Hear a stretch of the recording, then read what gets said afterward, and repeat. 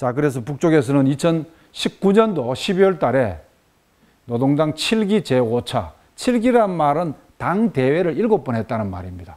당 대회와 당 대회 그 사이에 결정을 중앙위원회에서 하는데 다섯 번 했다는 것이죠. 그래서 이렇게 결정을 했습니다.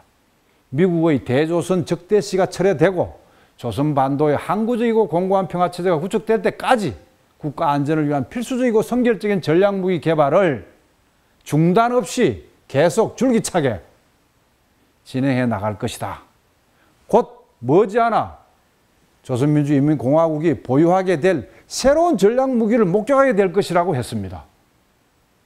지금 우리가 보지 못한 세계에 알려지지 않는 새로운 무기가 실험이 될 것 같아요. 근데 이거를 어떤 건지를 이제 추측만 할 뿐이죠. 근데 이것도 언제 보여줄 것인가는 정세 봐가면서 하겠죠.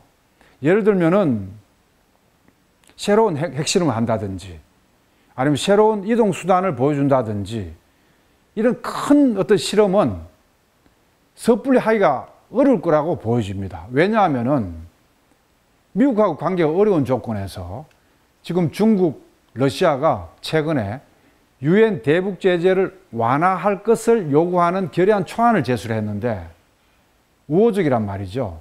중국, 러시아의 지원을 받아야 될 거 아니에요. 그랬는데 예를 들어 핵실험을 해버렸다. 이러면은 중국, 러시아 입장이 난처해지겠죠? 그렇기 때문에 이 새로운 전략 무기를 언제 실험을 할 것인지는 이 좀 두고 볼 것이라고 생각을 합니다. 자, 또 이런 얘기를 했습니다. 핵무기가 아니고라도 미국은 우리에게 또 다른 그 무엇을 표적으로 정하고 접어들 것이다. 이 말은 무슨 말이냐면 핵무기 다 끝나도 인권 공시하겠죠? 또 생화학 무기 있다고 터집 잡을 수 있어요. 미국의 인권은 이중잣대라고 제가 말씀드렸죠. 자주적인 나라, 반미국가 이런 나라는 독재라고 규정을 하고 인권 탄압한다고 낙인을 찍은 다음에 유엔에서 제재 결의를 합니다. 아, 중국에 대해서도 그래요. 음.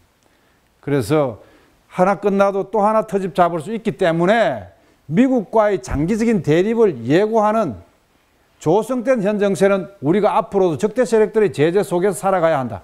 장기전을 각오한 거예요. 제재 쉽게 안 풀릴 거라고 이미 각오한 겁니다. 북쪽에서는. 그래서 정면 돌파를 얘기를 한 겁니다. 그래서 우리의 억제력 강화의 폭과 심도는 미국의 거무, 대북 입장에 따라 상향 조정될 것이다. 이 말이 또 이제 한편으로는 미국을 협박한 거죠.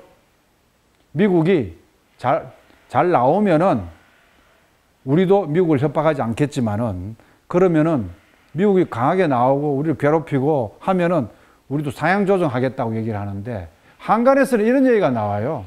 정 미국이 북을 계속 제재하고 압박하고 고립시키고 어려우면은 미국 본토를 지나서 태평양 대서양에 태평양 아니고 대, 태평양을 지나서 미국 본토를 지나서 대서양에 탄착하는 이런 대륙간 탄도미사일을 실험해 보일 것이다.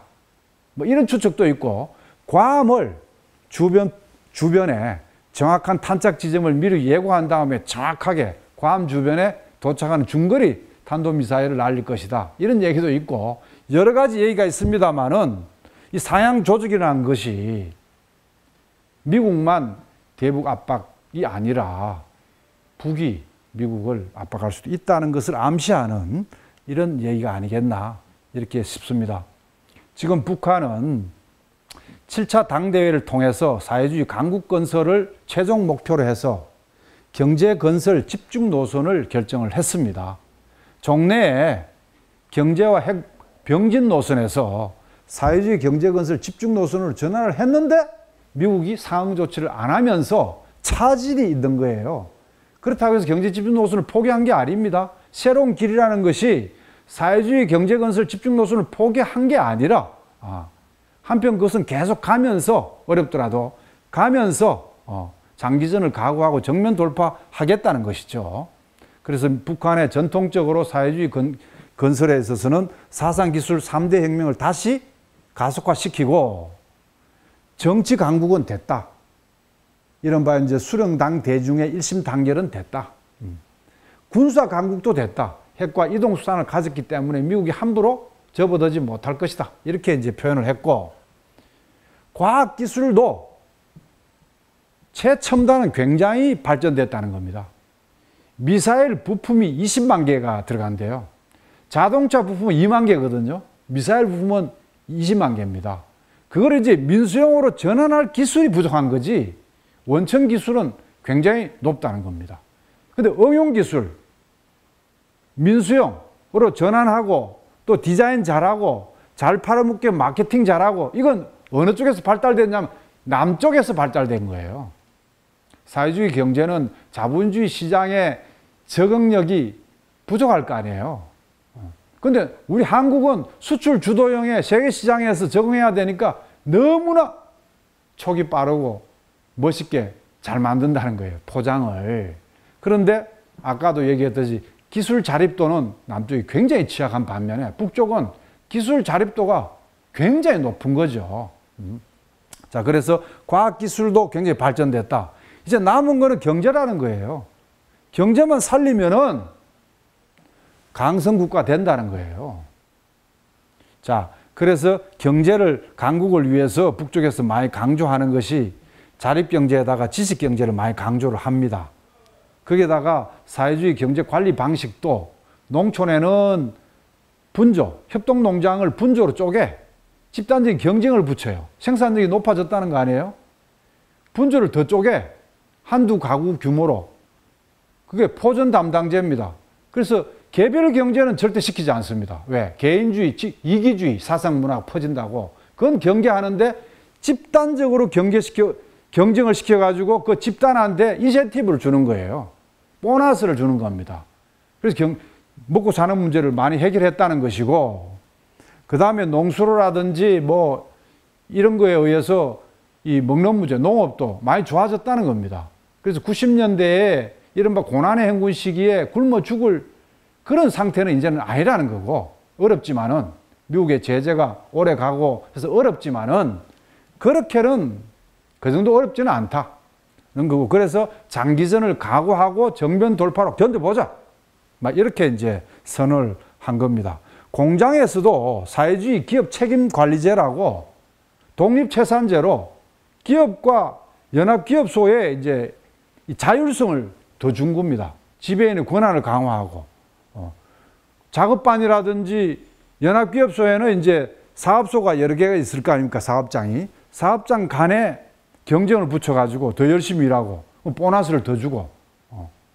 이렇게 하니까 생산성도 많이 높여줬다는 거거든요.